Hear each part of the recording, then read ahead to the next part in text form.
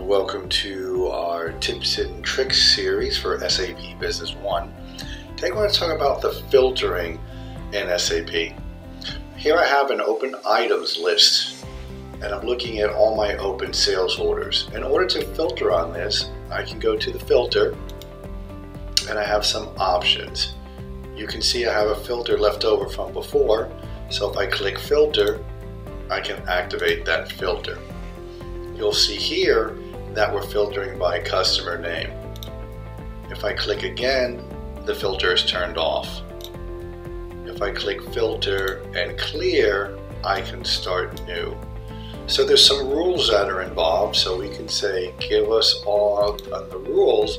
We can say it's equal to, not equal to, in a range, out of the range, and so on. So again, if I do equal to, let's say uh, river, and then I say my posting date is in a range, and I want to say from this date to that date.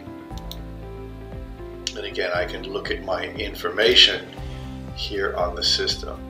You can see that I'm filtering on the customer name as well as the posting date. If I click, the filter's off. Click again, uh, the filter's on. It'll remember what you did last time. You can always clear and start again.